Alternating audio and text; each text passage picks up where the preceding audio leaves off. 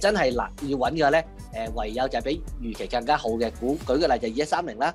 誒我冇記錯，盈起咧應該話升四成至四成半嘅，咁睇下會唔會最後嘅結果咧係好過呢個數字啦。第二啦，誒劉總即係啊創辦人咧都揸得多嘅，咁誒 佢揸咁多股份，而舊年大家知道物流航運都係誒賺好多錢㗎啦，會唔會派多啲息啊？咁如果個最終個誒